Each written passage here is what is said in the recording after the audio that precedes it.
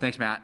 Um, The idea of adding ruggedized commercial off-the-shelf hardware onto a flagship spacecraft to do a nice-to-have function proved to be quite an interesting challenge that Matt handed over to us. Um, Along the way, we encountered one, uh, maybe two people who uh, were a little bit skeptical of uh, what we were trying to do. But thankfully, we had the full support of uh, project leadership, um, all the individuals directly supporting the 2020 mission were super excited to help, and in the end, we were able to actually make it happen. Um, Our EDL CAM team uh, were guided by uh, two, two requirements, if you will. Um, The first one was that the entry, descent, and landing system, camera system, must do no harm to the flight vehicle. Um, And that's especially important during EDL. Um, This was our one critical requirement, and uh, as you all saw last Thursday, uh, that requirement was met.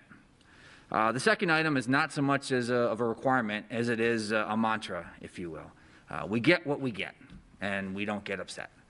Um, we wanted our EDL cam system to get onto the vehicle and return amazing imagery of the uh, vehicle landing in uh, uh, Jezero crater on Mars. Um, like every other element on the Mars 2020 spacecraft, individuals worked really hard and went above and beyond to make sure that their piece of the spacecraft uh, did what it was supposed to do and would be successful. Uh, but in the end, we knew that our entry, descent, and landing camera system, um, the mission could still be 100% successful if our camera system didn't work.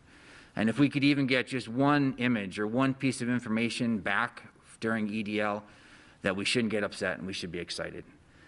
Um, so as you probably realize after last Friday's press conference, um, uh, the EDL cam system successfully captured some amazing imagery of the vehicle's descent and landing on the surface of Mars.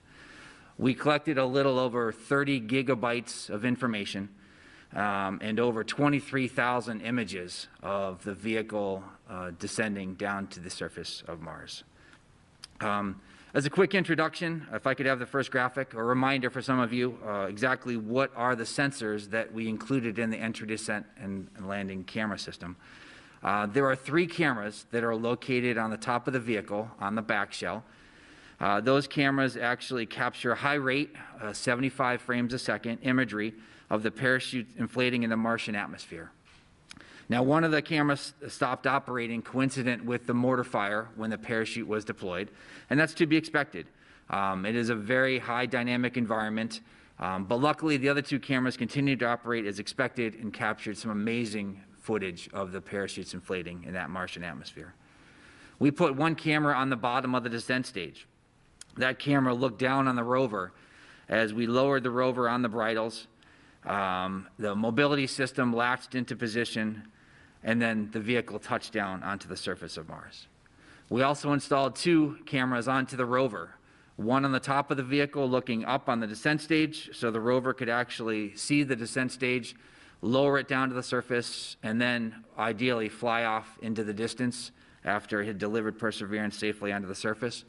And then we also put a camera on the bottom of the rover, which actually looked down on the surface of Mars once the heat shield was dropped away. And that camera continued to capture imagery until the vehicle touched down on the surface of Mars. And then we also put a microphone on the port side of, uh, the rover.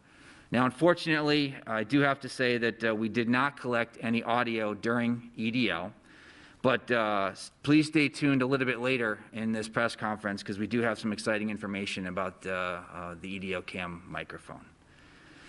So now the reaction to the EDL cam videos has been absolutely amazing around JPL.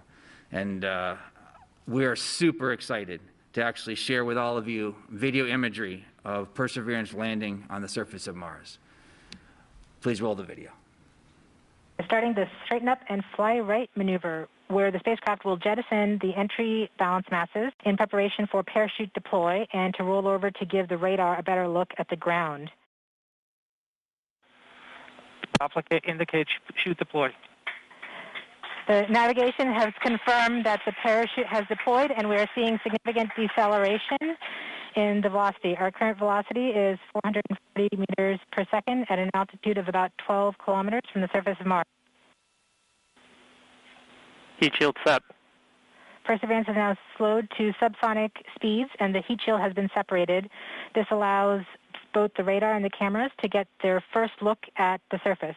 Current velocity is 145 meters per second at an altitude of about 10 kilom- 9.5 kilometers above the surface.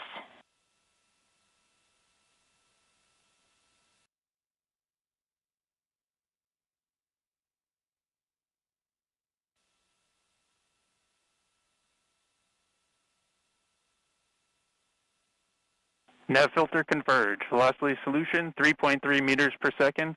Altitude 7.4 kilometers. Now has radar lock on the ground. Current velocity is about 100 meters per second, 6.6 kilometers above the surface. Perseverance is continuing to descend on the parachute. We are coming up on the initialization of terrain relative navigation and subsequently the priming of the landing engines. Our current velocity is about 90 meters per second at an altitude of 4.2 kilometers. LVS valid. We have confirmation that the lander vision system has produced a valid solution and part of terrain relative navigation. Priming. TBA is nominal. We have priming of the landing engines.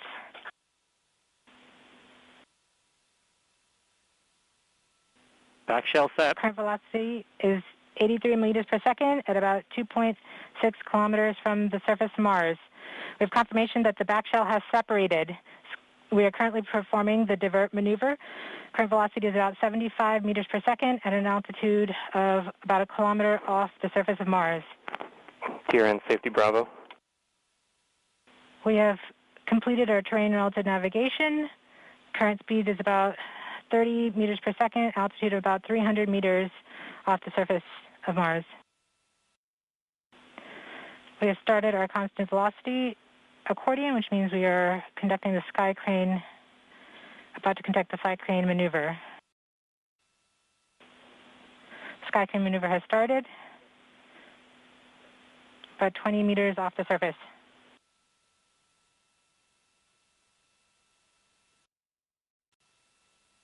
We're getting signals from MRO. Tango Delta. Touchdown confirmed. Perseverance safely on the surface of Mars, ready to begin seeking the signs of past life.